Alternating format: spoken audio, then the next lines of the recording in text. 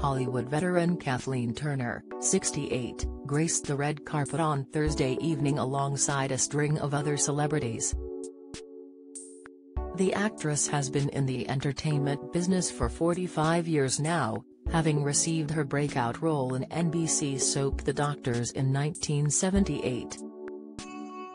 Since then the award-winning star has rubbed shoulders with the likes of Madonna, Hillary Clinton, and Calvin Klein.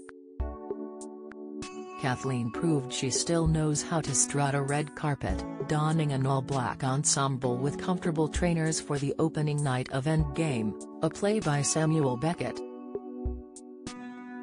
The Friends actress also had a surprise catch-up with her former Broadway co-star, Bill Irwin.